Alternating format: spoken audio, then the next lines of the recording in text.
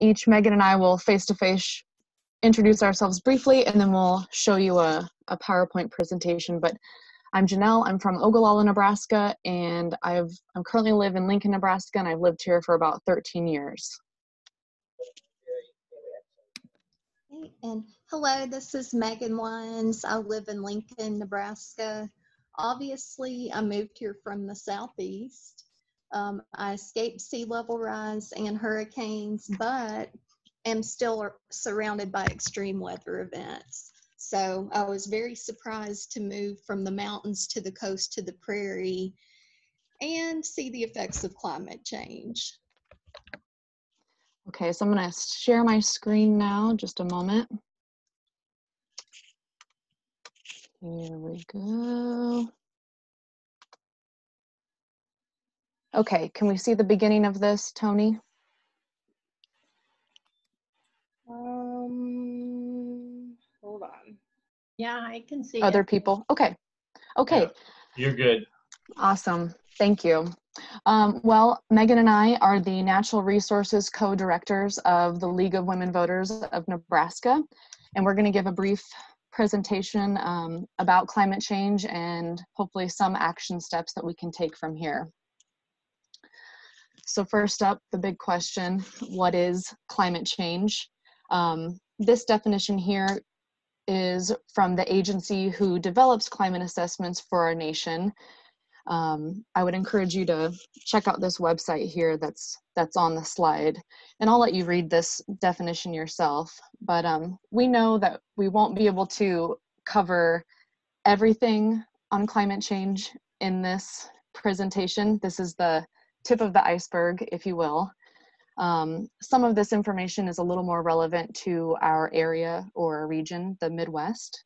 So I'll move to the next slide where we will show the League of Women Voters position on climate change. Um, so this is our position here summarized. And we want to emphasize that an international approach is necessary to address climate change. Um, climate change is not a political issue, it affects the whole world. So we need all countries to get behind this um, to combat it wholly. Um, the League supports science based action, and we understand that there are many layers and groups to consider when developing plans of action to combat climate change. Next slide. Um, some big causes of climate change. The first one here, the burning of fossil fuels such as coal produce large quantities of carbon dioxide. The next one, deforestation or the permanent removal of trees takes away the plant's ability to perform photosynthesis, which enables them to take carbon dioxide out of the atmosphere. The next one, land use change. An example of a land use change might be developing a, um, excuse me, an, a natural prairie habitat into a monoculture crop or the cultivation of a single crop in a given region. And then the last one here, um, methane from fracking or the production of natural gases. So I'll go to our next slide here. Some destructive effects of climate change and um, some extreme weather events that we might see would be the increase in temperature, droughts, heavier precipitations, intense storms, flooding. And I know that when we hear droughts and flooding in the same sentence when describing this might sound counterintuitive, but we'll kind of describe that in the next slide. Some other um, big ones here that we see on the slide here are species extinction and the extension of wildfires in, in all areas that, that we've been seeing in the United States. And then uh, food and water scarcity. And I'll go to the next slide here.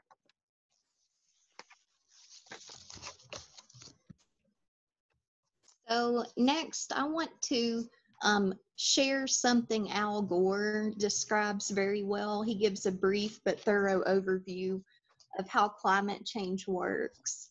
Um, energy from the sun reaches Earth in the form of light and heat energy.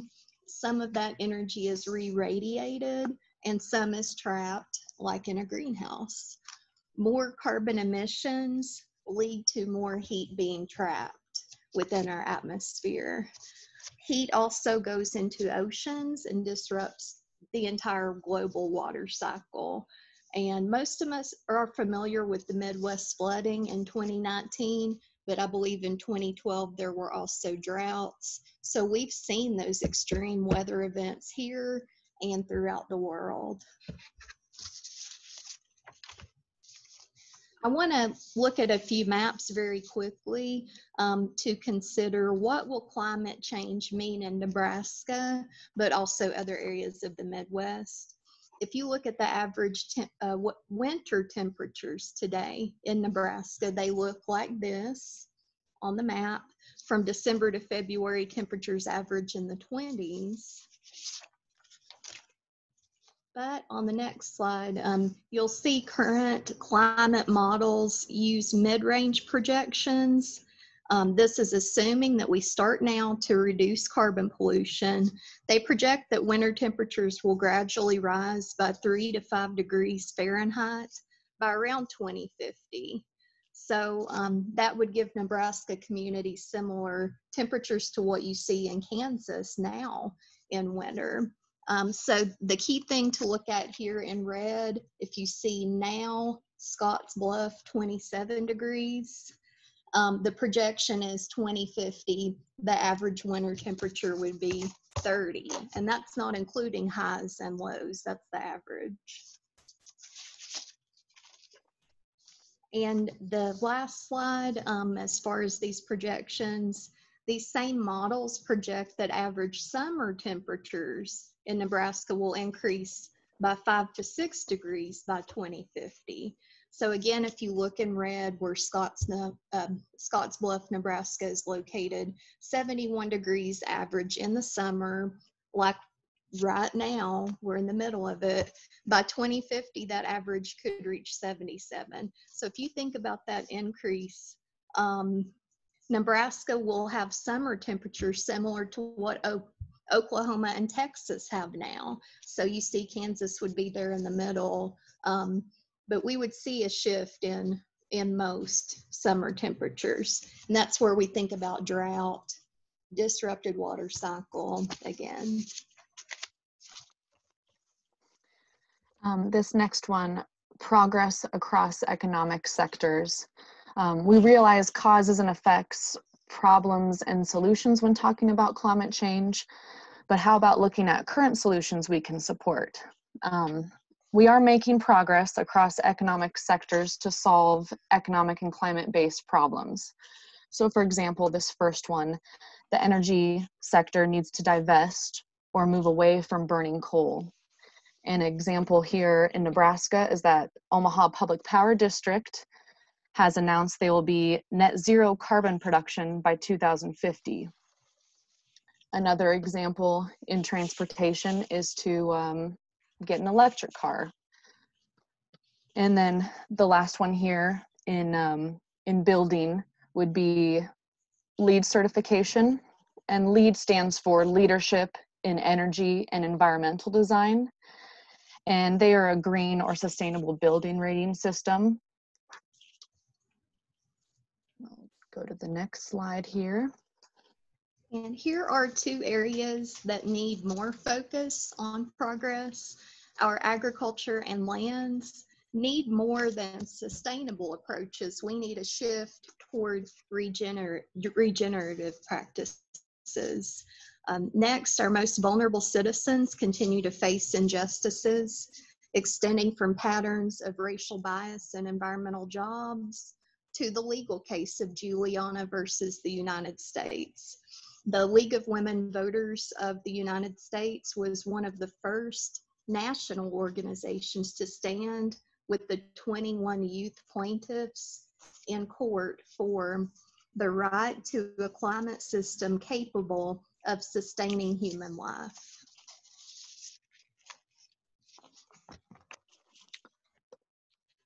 Okay. And we're ready to move to the next slide. All right, there we go. And so some response options or resilient, resilience building activities. What can we do? Um, so two key terms to think about or ways to think about action are adaptation and mitigation. So adaptation is to um, adopt to what has happened and um, improve what you can with it from there. And then mitigation is the action of reducing the severity of something. So reducing the emissions of carbon dioxide from the atmosphere in some way. I'll move to the next slide. A global youth climate leader, Greta Thunberg, has simple but powerful messages. And a couple of those include protect, restore, fund, vote for people who defend nature. We can do this.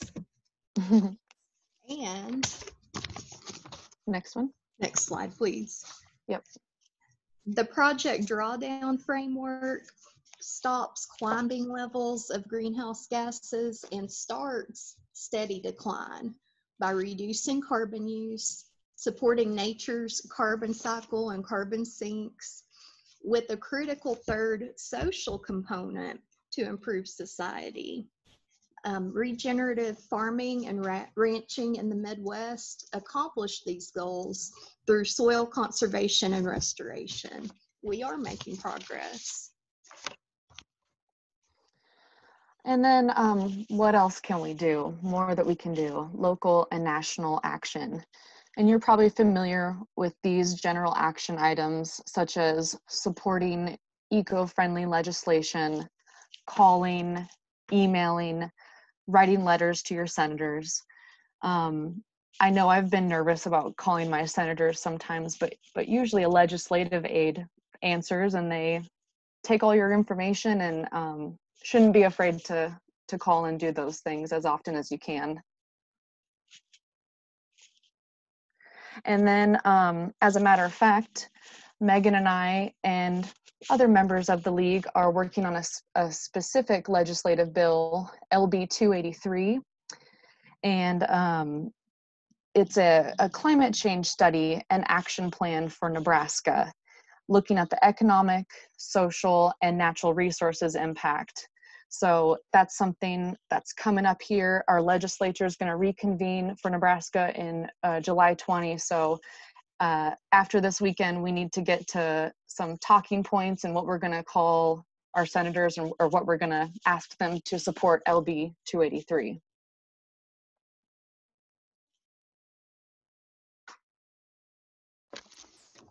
And some final thought, thoughts from League of Women Voters. At our national convention recently, I learned to broaden my perspective beyond climate. It doesn't fit in a box. Climate change affects the economy and in turn affects human rights. For those changes and effects to be positive, everyone needs a seat at the table. For example, for racial justice to improve, climate justice must be part of those solutions. Solving these intersecting problems may require changes in our morality. And a great place to start is with nonpartisan partnerships, integrating advocacy, voting, and faith.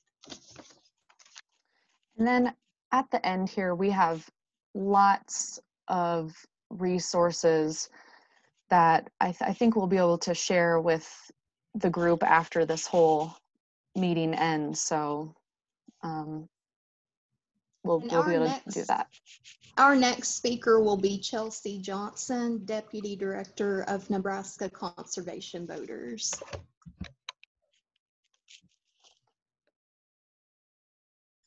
Okay, I'm going to see if I can share my screen.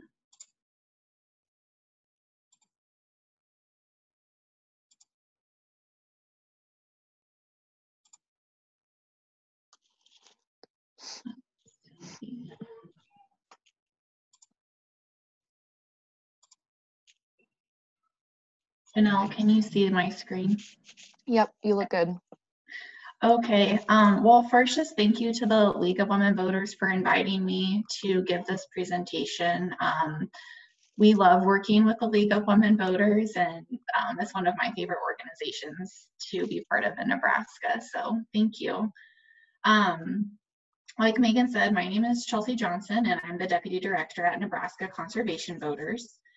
And to first just tell you a little bit about myself, um, I am originally from Johnson, Nebraska, which is a small town in the southeast corner of the state, um, very agricultural, just like the rest of Nebraska.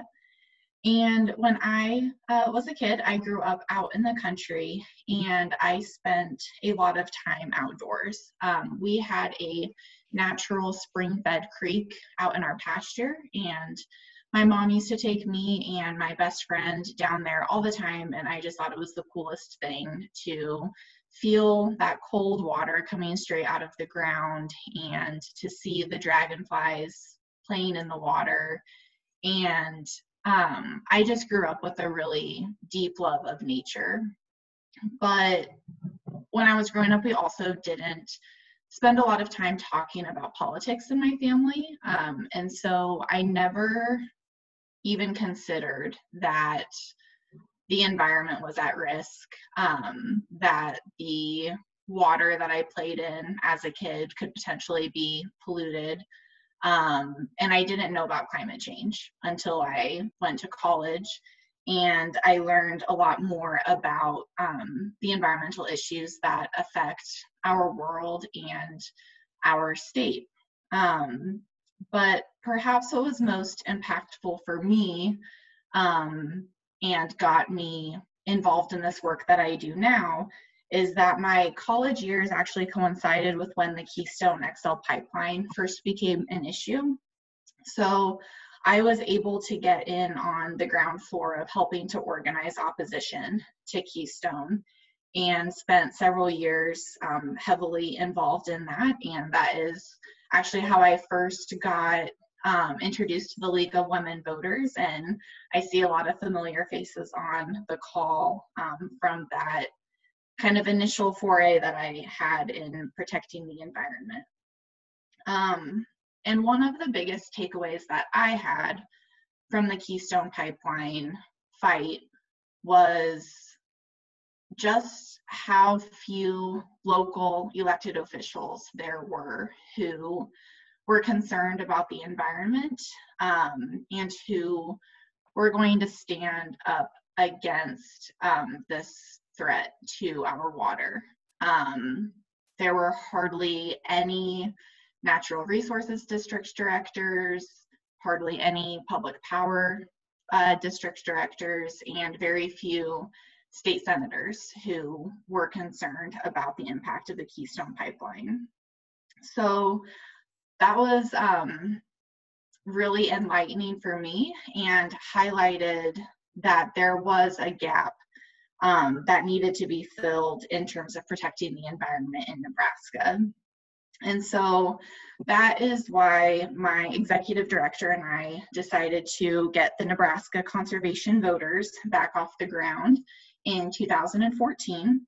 Um, NCV, we are a nonpartisan, nonprofit organization, um, and we focus on educating voters, advocating for sound policies, and electing conservation champions. And since 2014, we have focused our efforts primarily on clean energy and water quality. So I'm going to just talk really briefly about how we've been able to affect positive change on clean energy in Nebraska through our election work, as well as spend some time discussing water issues in Nebraska and the opportunities that exist there um, for everyone here on this call today to have an impact in protecting our water. Um, so for starters, Nebraska has a history of really loving coal. Um, we still today get almost 60% of our electricity from coal. Um, and between 2000 and 2015, Nebraska's carbon emissions actually increased more than any other states. Um, during this time, our carbon emissions went up by 22%. And the next highest increase was Mississippi at 0.8%. And every other state decreased its carbon emissions during this time. And kind of the main reason for that is while most other places in the country were already kind of starting to transition away from coal, um, Nebraska was building a coal plant. Um, Nebraska built one of the newest coal plants in the country during this time. Um, so what I'm going to talk about is how over the last um, few years, we have worked to transform Nebraska from being um, super committed to coal to being on track to make significant advances in clean energy, um, including in victories that happened just last year. So despite the fact that our state is still heavily invested in coal, um, we have always had a ton of clean energy potential. So I'm sure a lot of you have seen this map before. It's of wind resource potential in the United States.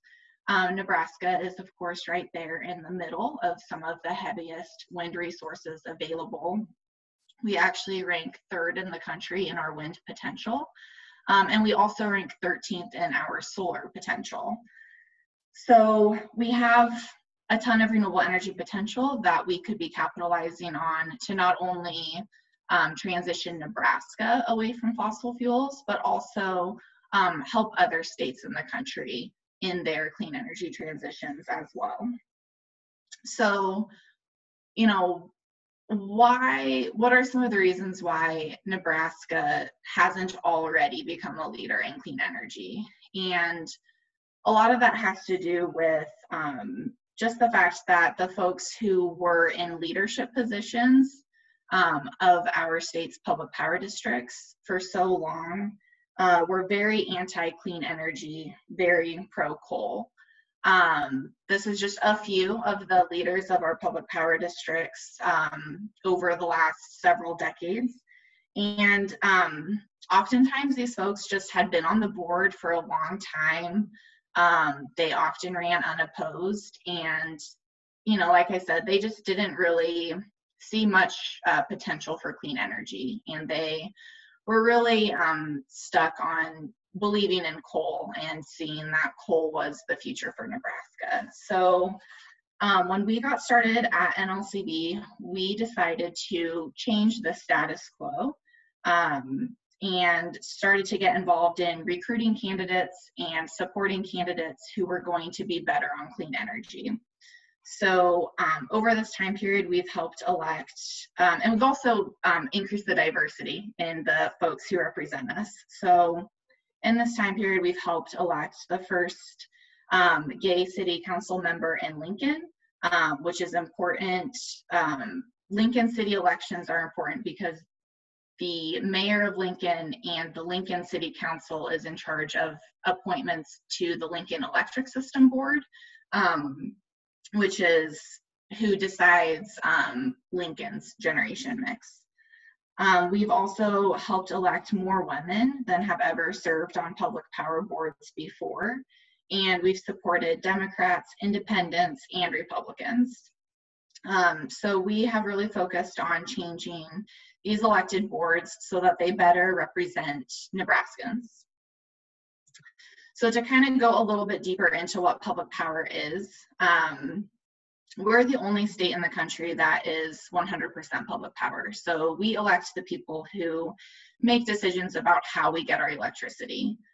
Um, there are three main uh, public power districts in Nebraska. There's the Omaha Public Power District, uh, Nebraska Public Power District, and like I already mentioned, Lincoln Electric System. So directors for OPPD and NPPD are directly elected. Um, those folks show up on, on our ballot in November. And so um, we, you know, directly choose who represents us on those two boards. Like I mentioned, um, for Lincoln Electric System, uh, those directors are appointed by the mayor of Lincoln and confirmed by the Lincoln City Council. And so those are the elected officials that we have focused on in Lincoln. Um, so starting with the 2016 elections, we prioritized winning clean energy majorities on these three boards. Since we got started, uh, we have been involved in 20 races and we've won 80% of them. So we have seen a uh, dramatic shift in particular on the OPPD board. Um, and we've started to see a shift on the NPPD board and the LES board as well. Um, and we are already starting to see the policy impact that that has had. Um, you know, in the last few years, NPPD and OPPD created their very first community solar programs, which has resulted in more than a dozen new solar projects in our state. Uh, no other state saw more growth in wind power than Nebraska did in 2018. And um, as was already mentioned, last year the OPPD board made a zero carbon commitment. And OPPD is one of the only utilities in the entire country to do so. Um, there are many um, cities and states that have made that sort of commitment, but for a utility to make that commitment is a really big deal. Um, so, you know, it just demonstrates the impact that having more representative leadership makes um, in these public bodies. And in Nebraska, we have more of a um, we have more power to make a difference than uh, many other states do because we do elect our public power representatives. Um, some of the work that went into all of this um, in the last few years, we've held over 900 events um, focused not just on clean energy, but also water quality, um, pollinator habitat, um, a wide range of environmental issues just to raise um, consciousness of environmental issues in Nebraska um, and to really educate voters to be more concerned about the environment in general. Um, we've knocked on nearly 400,000 doors all across the state, and we've sent more than one uh, and a half million pieces of mail. So um, now, you know, there really is a bright future for clean energy in Nebraska. There's certainly still um, a lot of work to do, and um, but it's certainly a lot more hopeful now than it was uh, five years ago. So when it comes to water in Nebraska, um, we have a long way to go in terms of protecting our water quality um, as well as our water supply. So 85% of Nebraskans get their drinking water from the ground. Um, unfortunately, uh, water pollution is a pretty big problem in Nebraska. Um, so according to the 2018 Nebraska Department of Environmental Quality report, 83% um, of lakes and 39% of stream miles were impaired, which means that the water quality does not meet the state requirements for at least one of its uses which can be recreation, drinking water, irrigation, or the support of aquatic life. And some streams had multiple impairments. Um, a 2014 report found that Nebraska's waterways were the sixth worst in the nation for toxic pollution. In 2018, 40% of surface water samples tested had nitrate levels at or above 10 parts per million. The EPA has set 10 parts per million as the maximum safe limit of nitrates in drinking water. And in each of the last three decades, nitrate contamination in Nebraska has doubled. Uh, so that is also not great. Uh, nitrate ingestion has been connected to um, various types of cancers, blue baby syndrome, birth defects, thyroid disease, and macular degeneration. Um, and right now, UNMC is conducting research into the connection between high nitrates in Nebraska's groundwater and our state's high rate of pediatric cancer. Um, so a lot of times we hear about how Nebraska has all of this um, water available to us. You know, we're home to the Ogallala Aquifer, um, which is a huge water resource for us.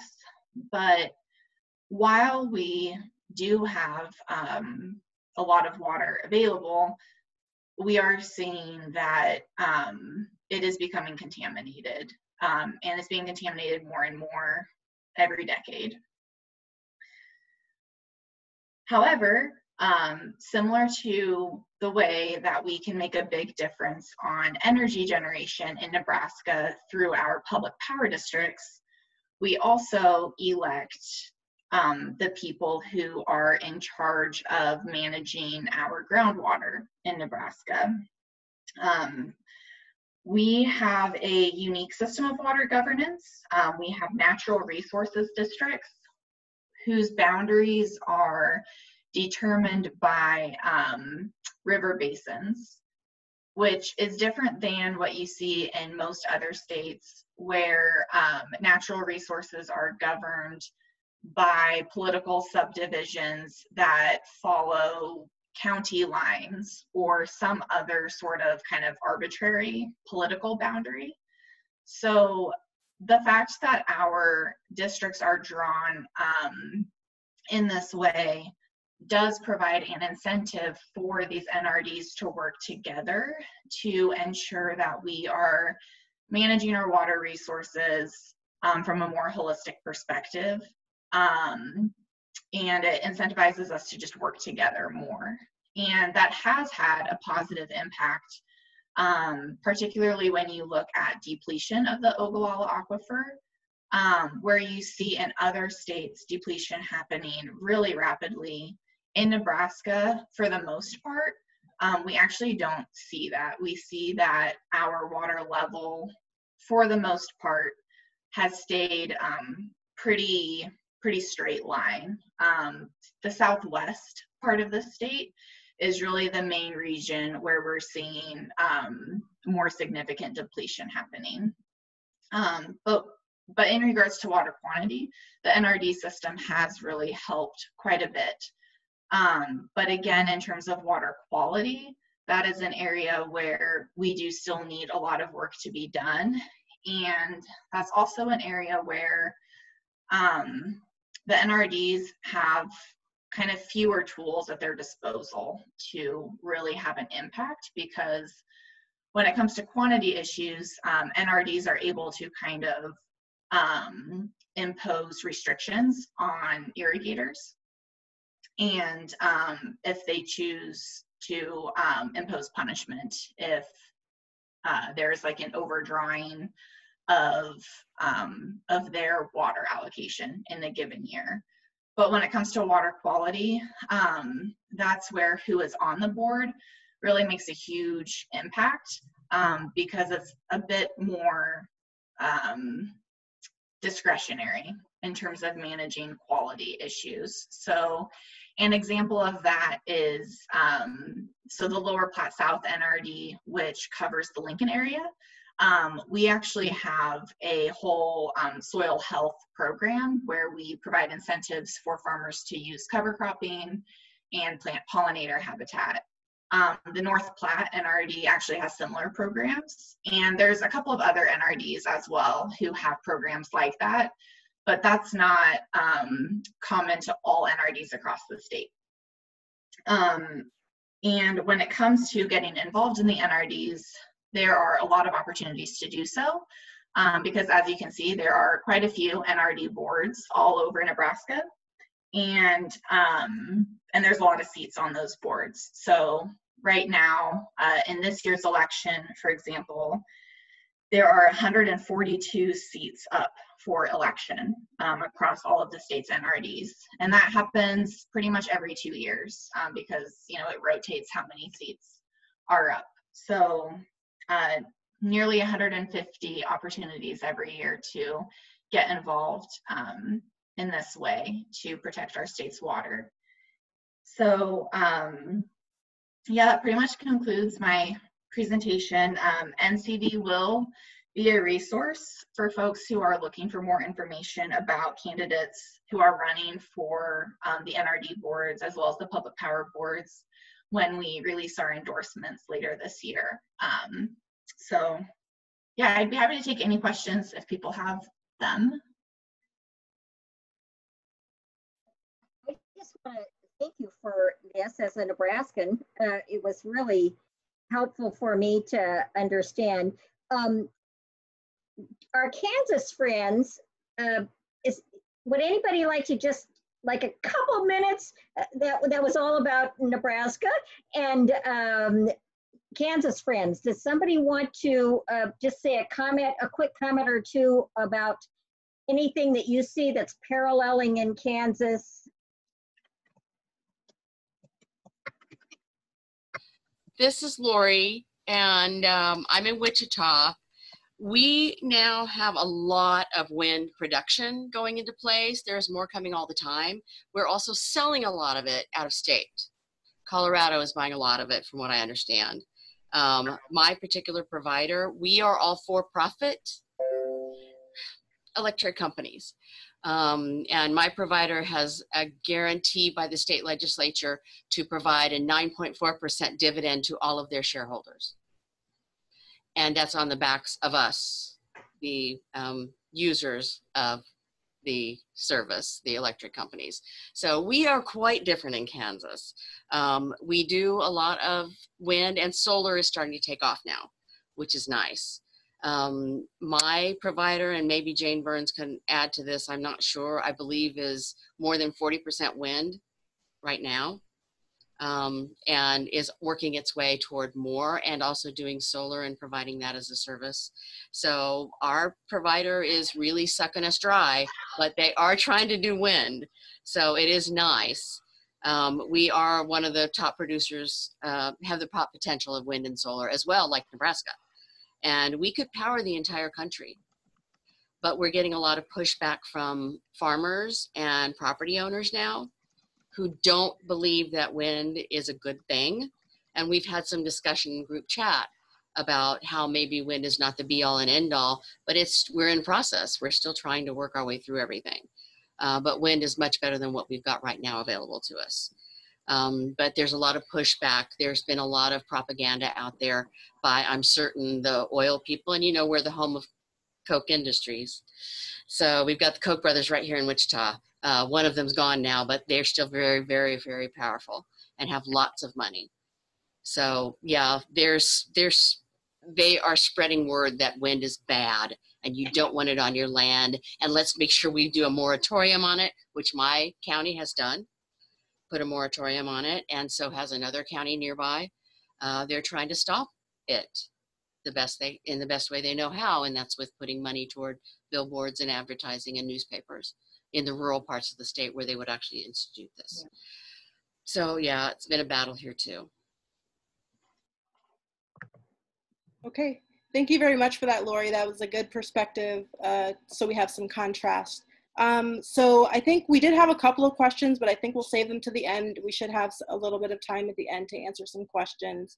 Um, so moving on, uh, now we're going to have some rest and relaxation. Um, so we're going to play a very calming video.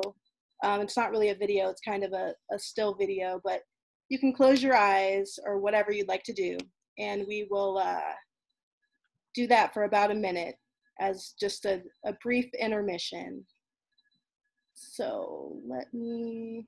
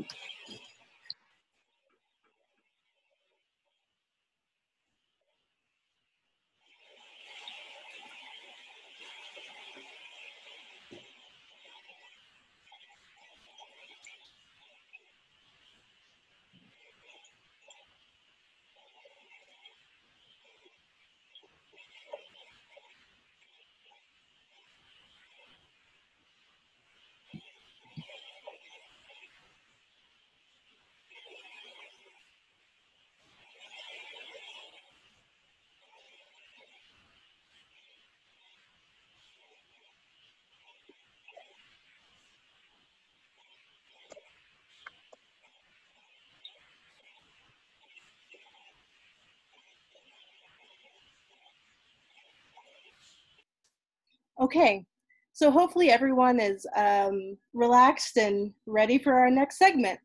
Um, okay, so let me adjust my screen.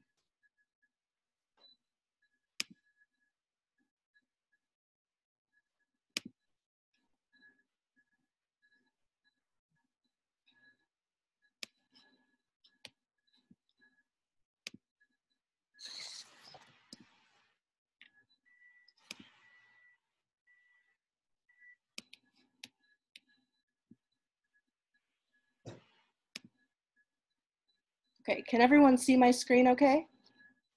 Looks good. Great. Um, okay, so um, now that we've kind of heard about the climate change issue um, and we have some background on that, now um, we'll talk about just a little bit about voting and why the upcoming election is going to be very important in pushing forward and advocating for climate change and other issues that we might be dealing with. So first, just a little background on the League's position as far as voting rights is concerned. So our mission is to empower voters and to defend democracy. So in that, we're looking to ensure that we have voter education and voting rights that are accessible and equal across the board when it comes to um, participating in our democracy. So as we all, I'm sure, are very aware of, um, 2020's general election is probably one of the most consequential, consequential elections of our time, um, dealing with systemic racism, voter suppression, a global pandemic, and obviously climate change being a major component of what we're dealing with. So voting is going to be in engaging voters um, as well as being aware of the candidates and their platforms and positions about the issues that we care about is going to be really important. So, um, voting in today's climate. So, when we think about voting um, and the electorate, so there is um, a component of the electorate called the Rising American Electorate.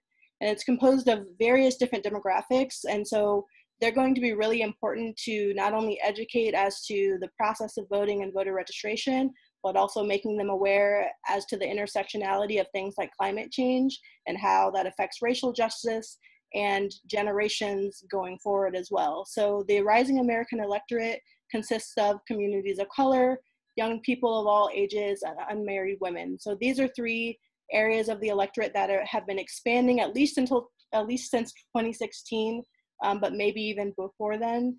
Um, and it's a demographic in which we have to really focus on in the sense that with the global pandemic going on, there's lots of different priorities that um, individuals in this in this group have, and so we want to make sure that voting and being registered to vote is one of those.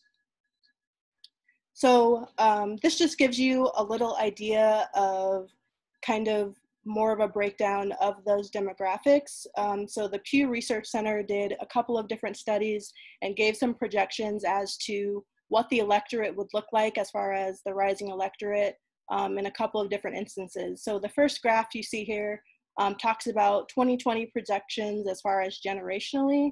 So if you look at the graph there, you can see that the boomer generation and generation X are kind of decreasing a little bit as far as their their uh, the numbers of people um, that are voting and involved in the electorate and then you see millennials and individuals in Generation Z um, increasing since about 2000. So um, that increase speaks to just the the increase in individuals being able or being of age to vote, um, but it also speaks to just more engagement from that population in our voting process. Um, if you remember 2012, one of that was one of the election years in which young people turned out pretty heavily um, in the elections, and so you can kind of see that with this graph as well. Um, the other portion is related to communities of color. So um, the Pew Research projections um, speak to the fact that Hispanics or the Latino community is projected to be the highest um, ethnic minority group as that will be a portion of the electorate in 2020. Um, so you can see the increases of that group as well as African Americans um, as being a part of the electorate. So it's just important to remember that all of these areas are expanding as far as being engaged in the electorate and how do we um, educate them on registering to vote, educate them on the issues such as climate change so that we can make sure that they're engaged. And so when it comes to voting and elections, I'm sure we've all kind of heard of misconceptions and falsehoods that people have about voter registration, about voting by mail, particularly in the current climate. And so um, with that being said, um, a lot of the voter registration and voting rights and education efforts are going to deal with um, combating misinformation and just um, the idea that the news media and other outlets are are speaking about a narrative or creating a narrative um, that would suggest that voting by mail, for example, contains lots of fraud. So you see here, one of the myths is that voter fraud is very rampant. Um, and what we know by the research and the data, it's that that is usually not true. Um, this type of fraud, you see there, Loyola did a study and there were 31 credible instances of impersonation or fraud out of the number of ballots cast. So you can see that is a very small percentage if it occurs at all. Um, another myth is that non-citizens are voting in droves. Again, um, if you look at the comparison and the, the amount of incidents compared to the total amount of votes that are being cast, you can see that again, it's a very like a, a hundredth or thousandth of a percent um, in 2016. So again, it's not happening in, in a rampant manner as some public officials and others might lead you to believe. Um, and then the last one listed here, and there are many more, are that people can't help people vote. So Nebraska does um, align with the act that you see listed there. So you can have family members, friends, legal guardians, and others assist you with returning your ballot, collecting your ballot, and helping you to submit it. Um, that is an opportunity. So you can get people to assist you with that. So it's important to keep that in mind when we're talking about accessibility and making sure that everyone is participating in our dem democratic process.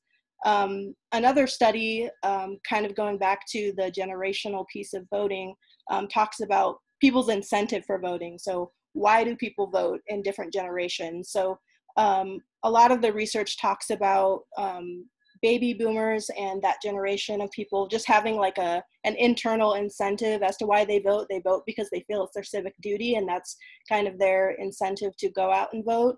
Um, whereas younger generations are more connected to the issues and they vote because they're passionate about a particular issue for example climate change.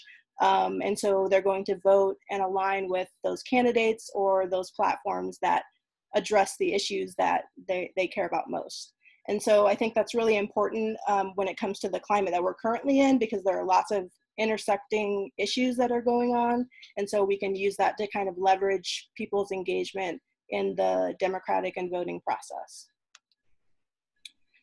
So when it comes to the 2020 general election, um, we have some key dates and information. I won't read all of this off to you, but I will uh, make sure that this PowerPoint is available so that um, you have the dates in a specific way. So um, the things that you want to keep in mind are deadlines for voter registration. So Kansas does have a primary coming up and that deadline is also coming up as well. So making sure that people are aware as to what the deadlines are for voter registration and the ways in which they can register to vote. So Kansas and Nebraska are pretty similar as far as the procedure that you would go through to vote. Um, you can do it online, via mail, or in person potentially. Um, that may be limited due to the current pandemic that's going on. Um, but when it comes to online voter registration, at least in Nebraska anyway, um, most times you will need an ID. And so when we're talking about that rising electorate and communities of color, there are many people within that demographic who don't have IDs and things of that nature. So making sure that they know that there are other options and making it as accessible and intentional as possible in getting them registered to vote. Um, and then you also have the opportunity to verify your voter registration. So if you've moved or anything like that, you'll want to change your voter registration, but there, there are opportunities to verify that you're actually registered as well. So you want to make sure to do that.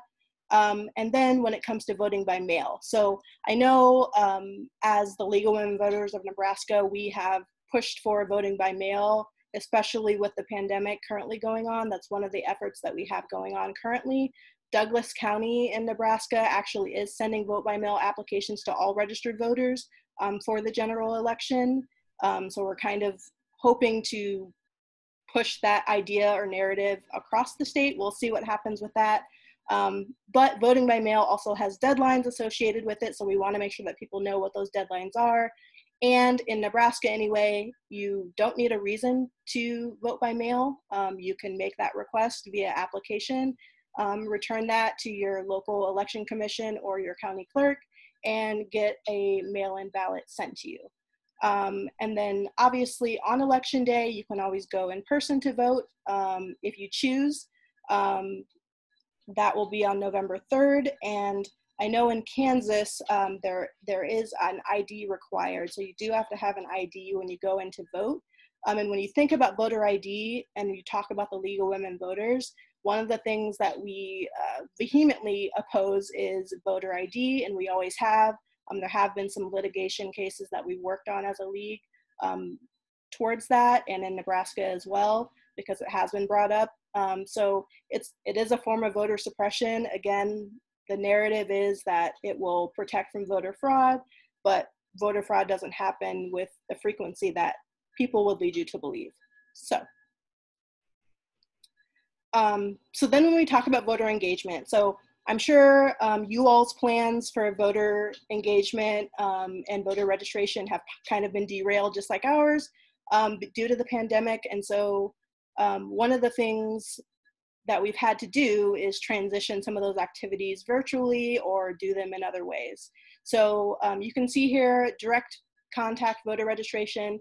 Technically, it is still an option, obviously following all the CDC guidelines with your mask and your six feet of distance, um, but those can still happen um, if you choose, um, as long as you're following those guidelines.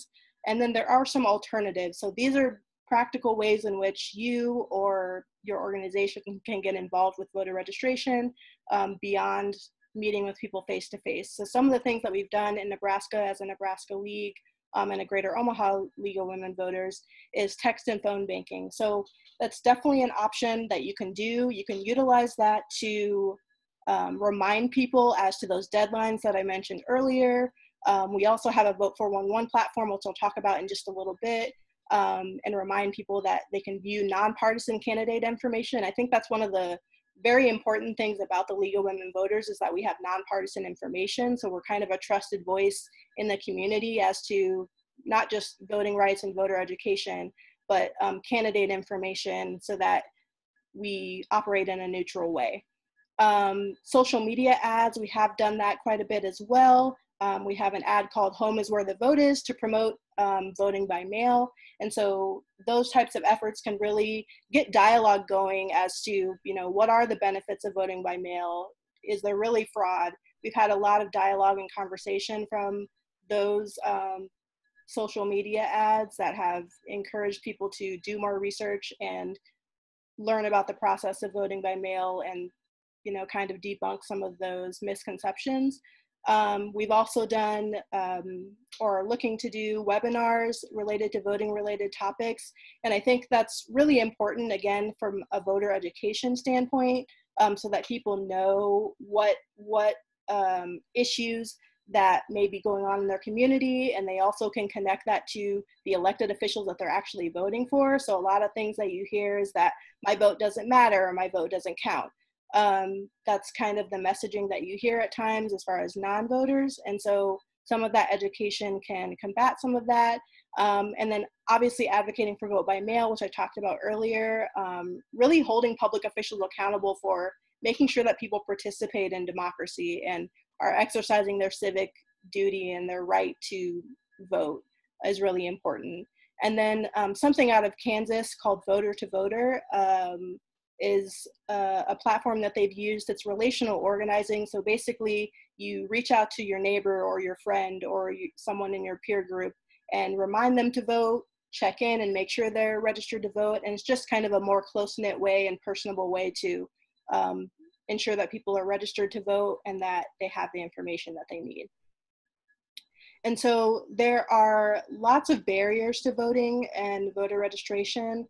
Um, and so these are just some strategies to address some of those things. So some of the barriers, lack of poll workers, knowledge and accessibility of voting by mail, um, closed polling sites, provisional and nonpartisan ballots and the education around that, um, the belief that's, that their vote doesn't count, and then high school and young adult student registration. So there are lots of strategies you can do to kind of address those things. A couple of them that I wanna highlight um, is the idea that we've seen a lot of what I would consider botched elections in um, other states uh, where there's been rampant voter suppression, closed polling sites, and things of that nature. So there are ramifications or there are statutes and regulations um, in your state that require your elected official to provide you with the information that a polling site is closed or whatever the whatever the situation might be um, within a certain time frame. So you want to make sure that you're keeping up with some of those things so you can hold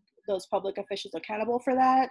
Um, and then addressing the the my vote doesn't count. So I believe it was an election in Douglas County, Nebraska, that was decided by three votes. So bringing up instances like that where you know there's a very small margin um, really helps people to understand not only that their vote counts but also that the issues that they care about such as systemic racism or poverty or any other issue or climate change any issue that they care about is determined by a public official. So Chelsea mentioned it earlier that we really are at a place where we can, you know, utilize our public officials to really make change. Um, so making sure that people are aware of that. Um, and then lastly, um, I'll talk a little bit about Vote 411. So if you're not familiar, um, Vote 411 is a platform created by the of Women Voters national organization um, that gives candidate information um, to voters uh, so they can plug in their address and it will give them information about candidates on their ballot. So um, most of the states do participate in Vote 411. I know Nebraska and Kansas do specifically. We have some Nebraska and Kansas folks on. So um, it will give you candidate information for the primary and general election. Um, it will give you candidate information, like I mentioned, based off your based off of your address and it will also give you voter registration deadlines that I mentioned. It will help you locate your polling place. And actually in Nebraska, which is something that we're really proud of and has been a lot of work, but really, um, really inspiring, is we've actually expanded Vote 411 in Nebraska to all 93 counties. So now you can see election information for candidates in all 93 counties, um, including down ballot races. So that's really exciting. Um, it's something that we've been working on and that we're currently working on to get that information out for the general election. Um, and we've also promoted that voters guide and vote 411 in local newspapers. And that's another opportunity to kind of promote that information in your state um, and also translated in Spanish as well to make it a little bit more accessible for the uh, communities of color. So how does this connect to climate change? So Chelsea mentioned it earlier making sure you're reviewing those candidates platforms. So those those representatives that are running for uh, public uh, public uh, boards um, that are related to climate change the nrd boards for example and making sure that you're holding them accountable to not only their platform but to um, pushing forward the things that that are most pressing as it relates to climate change and any other issue that you would care about so making sure you're you're aware of what their positions are and holding them accountable for that. Um, and then determining organizations that you can collaborate with. So we're stronger together, right? So if you can find organizations that you can collaborate with and advocate with and connect kind of the environmental justice piece that Janelle and Megan talked about with um, racial justice, for example, with everything that's going on currently, I think you will have a larger coalition of people to advocate for the issues that you care about. Um, and then distributing communications, again, that directly relate to communities of color or any other demographic, faith-based communities um, that will really show them what the importance of the, the climate and the environment is on generations going forward and on um, just making you know our world a better place. So um, I have some links here as well that I can send out, and there are plenty more. So just let me know um, what you need, and I can send that out to you. And here is our information. So if you want to visit our website, we have a new website coming out on July 15th.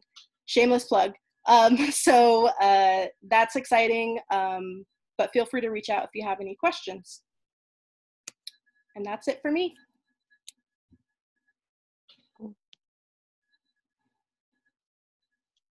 Thank you, Tony.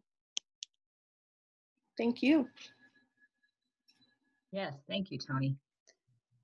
I will say that uh, the Kansas, I was looking on the Kansas League of Women Voters website uh, the other day after I talked to Seal, and I thought I was really impressed. I also, I think, you know, one thing I learned when I talked to Seal is that her husband did almost all the, is that right? He did almost all the wind mapping for Kansas in the late 70s.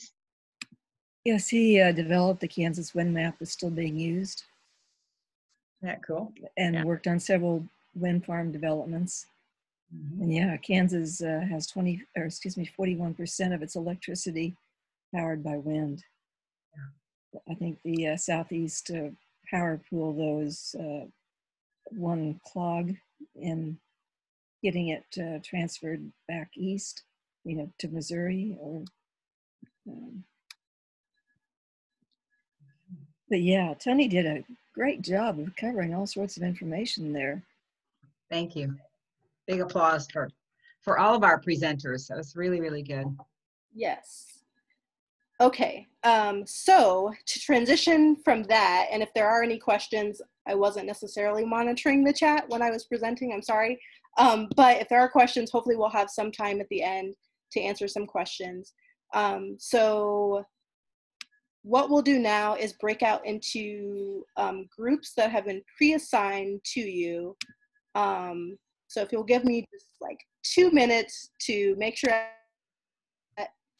and then we will um, go into your breakout session. So a window will pop up letting you know to join um, the, the breakout room and then you'll be shuffled in there and we'll go from there. So two seconds. I wish I had Jeopardy music to play.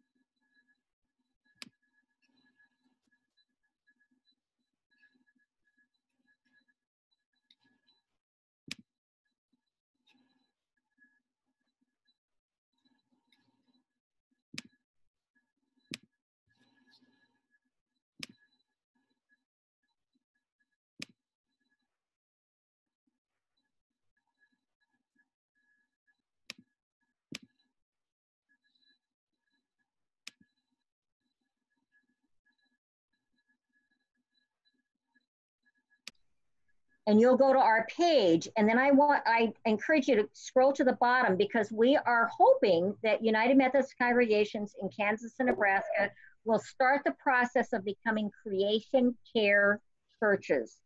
And it's a fairly easy process, but it is described on our creation care page.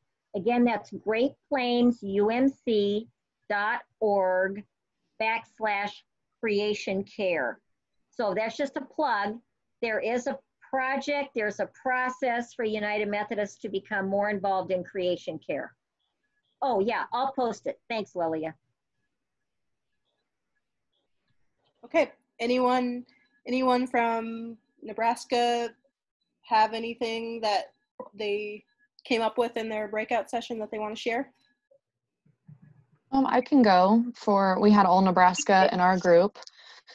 One thing that a couple people recognized or realized what that was that Nebraska is a public power district and that we can vote for those officials. So I think in the future they're going to look out for for those candidates and who they can vote for in those races. So thank you Chelsea for pointing that out. Yeah, anybody from Kansas have any thoughts or any discussions that you all had related to your specific climate? This is Lori. I didn't go to a, a, a, group with other Kansans. I only went to a group with somebody who was on a telephone that I couldn't unmute. So I have no idea what we were supposed to do or anything. Okay. So there were other Kansans. Yeah. In Kansas. Technology. great. I would love to hear from you. Yeah. If there's anyone else um, from Kansas that uh, discussed anything that they feel like is specific to I, I also was in a group with only Nebraskans. I, I believe I was the only Kansans, but uh, uh, yes, we presentations that you feel like is relatable that you can take with you. Well, I think um, I was interested in in the contrast between Nebraska and Kansas. Uh, the one good factor that we do have in Kansas is that with our new Democratic governor, she will be appointing and has now appointed two people on our Kansas Corporation Commission it's a panel of three, and they set the they review you know, how much utilities want and payment and uh, policies, and uh, so even on the wind uh, and solar, you know, last year they changed the solar power so that uh, utilities can charge those people solar power more money than they had in the past. And so our, our KCC members are very important, and we're getting we have two new ones on there now, so that's really great all my relation. Real quick, before you start the movie. Mm-hmm. Go ahead. Uh, my name is Jessica Palace, and I'm not part of this was a fabulous program thank you to everybody who did it i'm part of the ucc in nebraska and i've heard about the creation care quite a bit through tom janong who's a member of my church and also on this call um, last year we in our church in hastings created a climate change um, a climate change focused uh, Sabbath, Creation Care Sabbath, and I think we pulled some of the Methodist resources, so thank you for that. But then I'm on the board, so we plan to do it statewide. Um, and so I have this Sabbath toolkit that we plan to do for next spring, and I think everything for this fall is critical and important, and we're all going to work on this election. But I'd love to have a conversation with some of the uh, leads on this call, uh, Zoom conversation later about could we work as one body and use utilize those things at one time, maybe around Earth Day. I'm a former community organizer, so we've done this before with faith-based groups where um, you can get a lot of media and a lot of press if we all kind of do one thing at one time, like we all have a Sabbath kind of thing. Anyways, I've sent emails to Tony and I'd love to send one to Mrs. Ingram and is it Linda Duckworth? Anyways, my email, I'll send, Tony will have it. If anyone is willing to have that conversation, I'd really like to plan that. Will do. Sounds great. Um, so now on to the, the, the feature presentation, uh, the closing um, video. And yes, before we do that, um, before everyone leaves, so um, I do have a list of everyone that registered for this. So if there's anyone in particular that you'd like to coordinate with, um, I can make that happen. And then we'll also provide the resources and information that we presented during the presentation to you all as well. Um, and our contact information, again, I can send that out to everyone that attended as well. So thank you all for being present, for your attention, and for your engagement and just passion about the issues. Obviously, you all are present because you care. So we appreciate that. Okay. Um,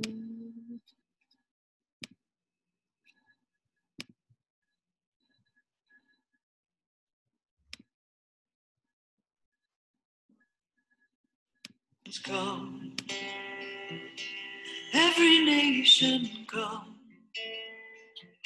all my relations under the sun, we are one. We are praying, come. We are praying, come. We are song and we are the drum. We are one. We are the river, come. We are the river, come. We are the boat, the paddle, the shore. We are one. Many sing to glorious, many sing to glorious, many which water is light for everything. Oh yes, we are the water, glorious. We are the water, sing. We are the water, we are all the. Glorious. We are the ancient one. We are the ancient one. In your breath and bones we sing on. We are one. We are the come. We are the come. We are the lark that sings. The new day has begun. We are the new day, run, run.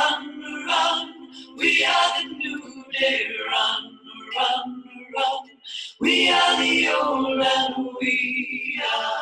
the young. We are one. Mni Wiconi sing to glorious. Mni Wiconi sing to glorious. Mni Wiconi water